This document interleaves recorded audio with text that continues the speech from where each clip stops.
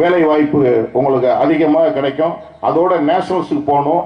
பொதுவாக நம்ம ஹிஸ்ட்ரியில் நாங்கள் வந்து பன்னிரெண்டு ஆண்டுகள் ஆச்சு நானும் சஃபியும் ராஜ ராஜேந்திர அண்ணன் வந்திருக்கிறாரு.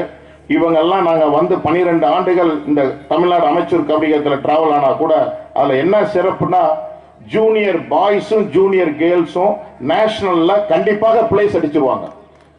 ஏதாவது ஒரு விதத்தில் பிளேஸ் அடிப்பாங்க. அதில் எந்த வித மாற்று கருத்து இல்லை. கண்டிப்பாக